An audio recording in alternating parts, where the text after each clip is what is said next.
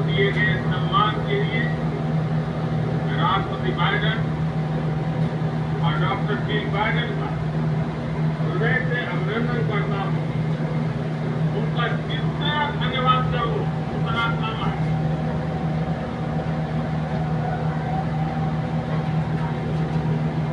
of the Indian community are enhancing India's domain towards global talent, hard work, and dedication. You are the real strength Paulo também.